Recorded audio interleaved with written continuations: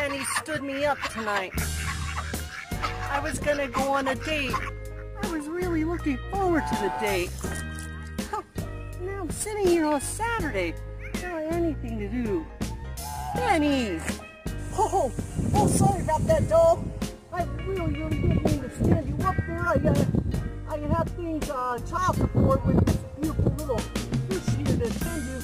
Oh, not, not child support, but visiting a, a gal pal with a, with a little baby